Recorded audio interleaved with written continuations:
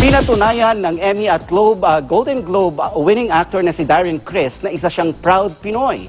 Isa sa mga isinuot ni Darren sa four-day wedding event nila ng bagong asawang si Mia Swire, ang barong Tagalog na gawa ng Filipino designer na si Frances Liberan.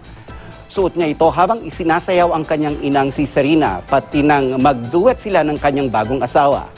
Bukod sa couple, nagkaroon din ng musical performances ang kanilang guests, pati na mga kasama ng aktor sa hit TV musical show na Glee tulad na lang ni Leah Michelle.